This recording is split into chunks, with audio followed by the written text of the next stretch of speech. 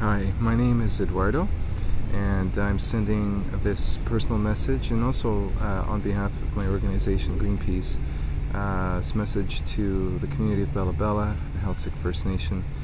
Um, uh, it's in regards to your upcoming joint review panel uh, hearings um, in Shearwater.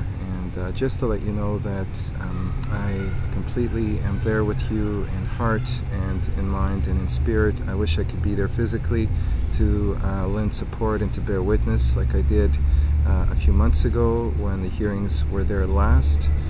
Um, the fact that you are participating again um, is very courageous and uh, inspiring to many of us, despite the fact that the disrespect continues on behalf of the panel to not even be able to, uh, or, to not even uh, have the hearings take place in the community of Bella Bella itself, and that uh, you have to go across the ways to Shearwater.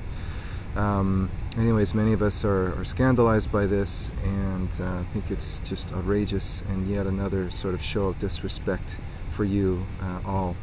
So um, anyway, some of you probably recognize me. I've, I've been around the community over the past year and I wish I could be there in person this time, but um, I'm not able to. But just to know that, um, that we are thinking of you, I am thinking of you, and you inspire me certainly.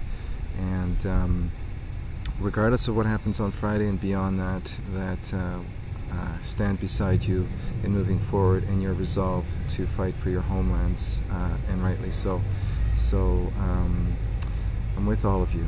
Um, thank you, and uh, we'll see you soon. Thanks.